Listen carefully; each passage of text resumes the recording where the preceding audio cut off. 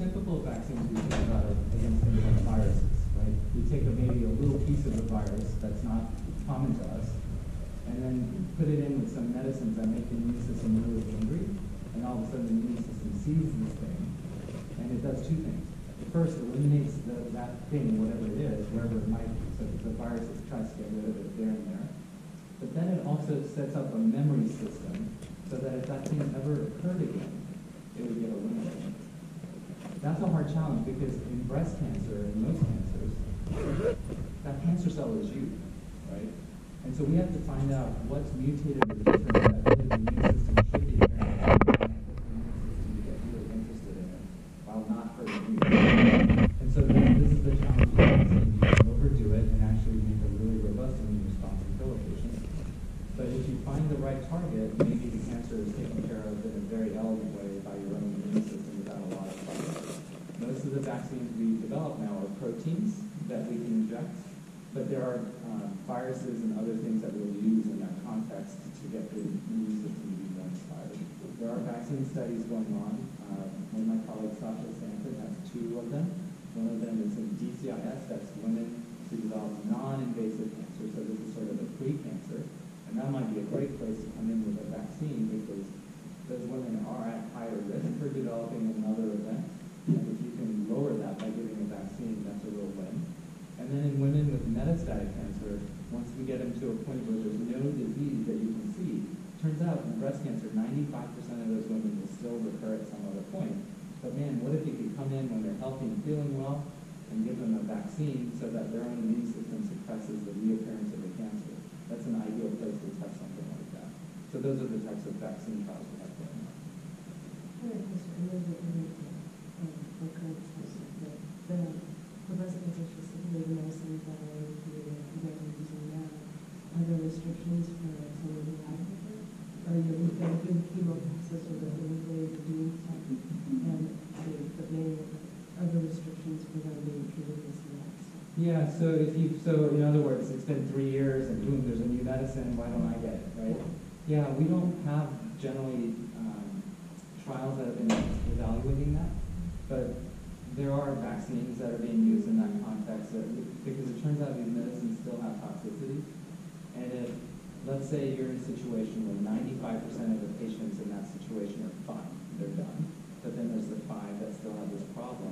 I don't want to treat the under ninety-five with a theoretically harmful medicine to help those five if I, you know, it would be more ideal to find out who those five are first and then do a trial there. We actually just did that. So there's a trial called the KATHERINE study, and it uses that TDM1 medicine, ado-trastuzumab emtansine. This is the antibody drug conjugate. And what they did is they took women who had gone through surgery, who had already done some treatment, but when they went through surgery, there was still some living cancer cells in the breast. And we know that if we just give those women the same medicines that we were planning to give anyway, about 85, 82% of them are fine, but about 18 to 20% are not fine. They're going to recur. And if we gave them that other medicine instead, we improved their outcomes, right? So that's a smart study. We focused on the women that were most likely to recur and did a trial on them. And we don't, we have that challenge. We have to find out who those women are. Where I'm optimistic and hopeful is that we'll have some sort of blood test that can find the earliest signs of cancer kind of trying to come back, and then use those interventions in those women to see if we can get it to go away. But that's still a ways off us to do that. Um, Speaking of that, that medication, uh, Kadcyla, so say, um, a woman is taking that after surgery on the, uh, every three weeks for a year, and she's being monitored because of the potential for cardiac symptoms to go around with indefinite Say she's having too many cardiac symptoms, so they need to stop the Kadcyla. Is there some sort of backup plan to finish off this course of?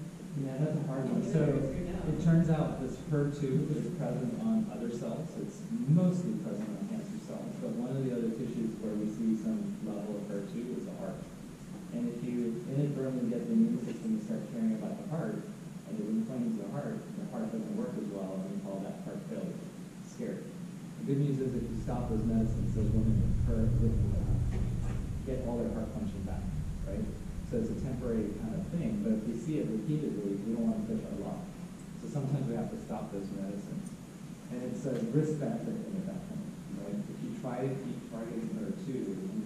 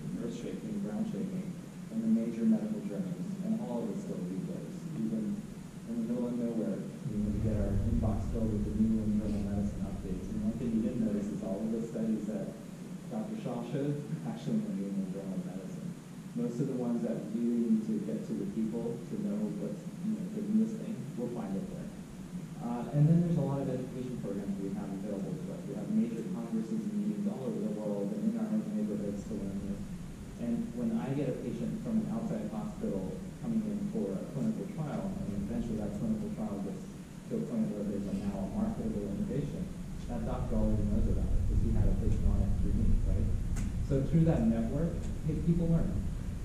People get it. So I, I feel pretty good about that. Is it difficult to get into the trial studies and expensive, or how that work? Because we've heard for so long it's so extremely expensive. Did do all time stuff? Am I doing okay? All right. So clinical trials is a whole thing, right? And uh, when you think about trials, everybody thinks about what I, what I call the phase three study.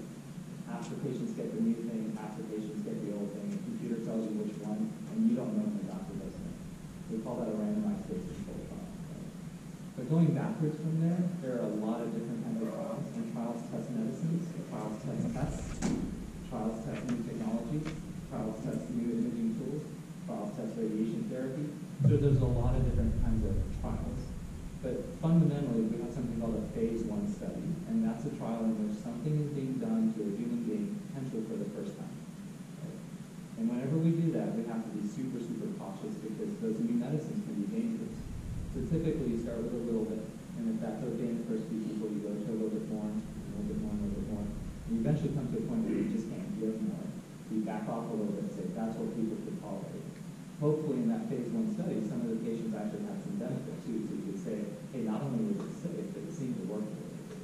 Once we find that dose, we oftentimes go to something called a phase two study, where we take that same dose that we learned in the phase one trial and just do it on a lot more patients to get a sense of like, how good is this thing?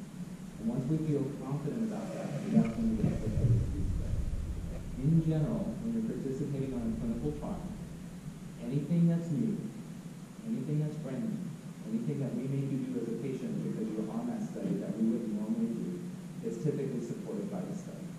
So the sponsor of the study, whether it be a drug company or the federal government, picks up the tab on those things. If it's a new medicine you can't buy, we're not going to charge you for it, right? We have to give it to you. But if it's something we would do anyway, so for example, let's say your doctor is checking your blood work every month or something, then you just bill that to insurance.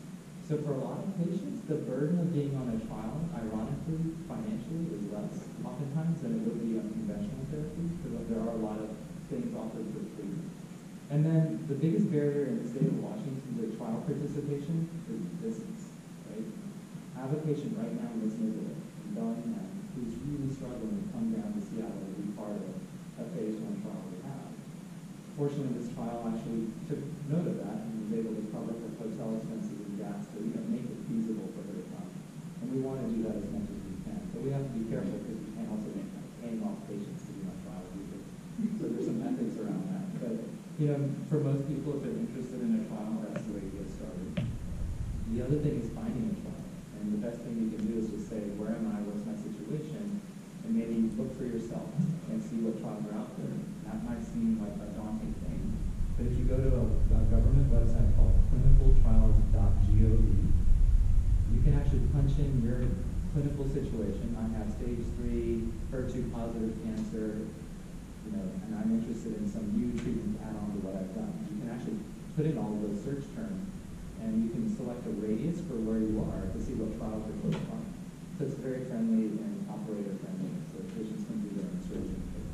And I've had patients who come to me and said, hey, there's a vaccine study in Detroit, can I go? I'm like, you go for it, right? And so you can be, um, you can take that situation to your own hands. Uh, you're blessed in the sense that you live in a state with Seattle nearby. Within a radius of us, there's a ton of clinical trials all the time going on in all these diseases, especially in breast.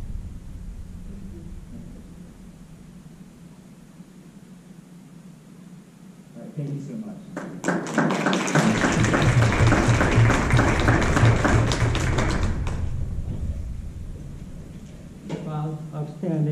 As always, VK, thank you.